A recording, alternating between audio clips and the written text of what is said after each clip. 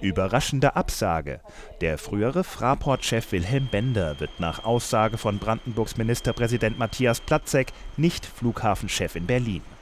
Bender steht zur Verfügung, uns bei dem Projekt zu unterstützen, aber nicht als CEO, sagte der Flughafenaufsichtsratschef heute in Potsdam. Der Hauptstadtflughafen brauche eine Lösung, die über Jahre trage, sagte Platzek.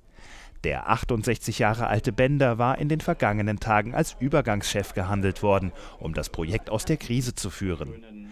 Wegen des Termin- und Kostendebakels war der bisherige Geschäftsführer Rainer Schwarz im Januar abberufen worden.